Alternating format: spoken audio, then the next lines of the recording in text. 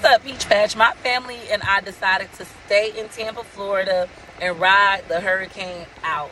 We've never had a really bad hurricane, so I decided while my kids are safely put, my husband's off gambling at the casino, I'm gonna give you guys a tour of what Tampa is looking like.